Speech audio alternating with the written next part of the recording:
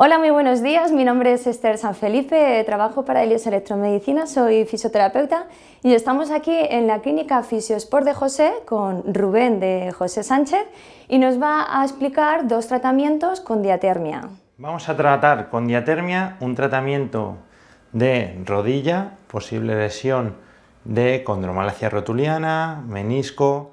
Empezamos con la preparación de la máquina en la cual lo primero que tenemos que colocar es nuestra, según nuestro tratamiento, vamos a trabajar con la placa pasiva, ¿vale? Le impregnamos bien de crema, cogemos nuestro elemento capacitivo, que es el primero que vamos a trabajar, pondríamos la placa pasiva debajo del muslo a tratar, ahora iríamos a la segunda fase, aquí vamos a cambiar a nuestro paciente, le vamos a poner sentado en la camilla para trabajar Movilidad. Entonces vamos a utilizar cabezal activo, va a ser resistivo para trabajar ya partes internas de la rodilla y nuestro cabezal neutro va a ser el neutrodinamico. Igual, aquí vamos a trabajar durante 15 minutitos y ya subimos nuestra potencia.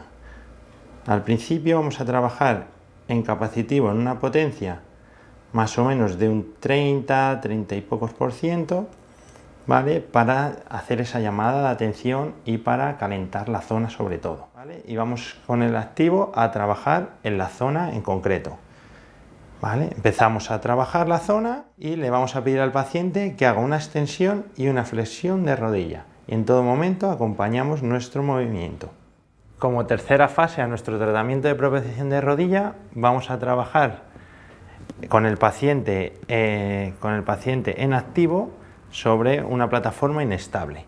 vamos a colocar los electrodos estático automático, ¿vale? trabajando todo lo que es el, cuádriceps. Trabajamos con los cabezales en el proximal y recogiendo las tres, las tres cabezas que podemos abordar de cuádriceps. La placa pasiva ponemos en el gemelo, pegadita y sujetamos con cinchas todo.